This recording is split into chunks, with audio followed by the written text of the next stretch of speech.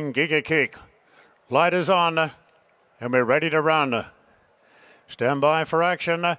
The gates are back, they're off, and Way to the Stars flew out as usual, and Way to the Stars will lead. Red card sent forward from the outside.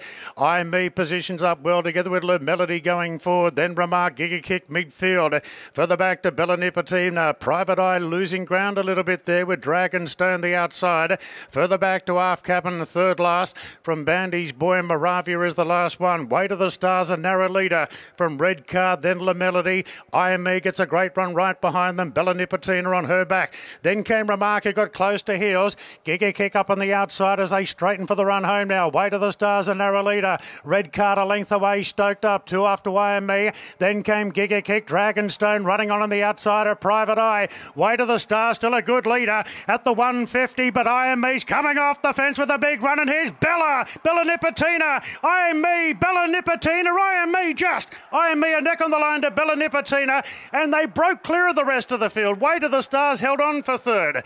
Then Giga Kick, Private Eye, Aft Cabin, Bandy's Boy, Moravia. Further back, Red Card, he got tired from Dragonstone, La Melody, and Remarks finished last. I am me, Nash Rawiller, having the charm run on the back of the speed, running past that vulnerable leader, and then all of a sudden Bella Nipotina emerged on the scene with an outstanding run late. But I am me had just enough break on it in the time of 55.97.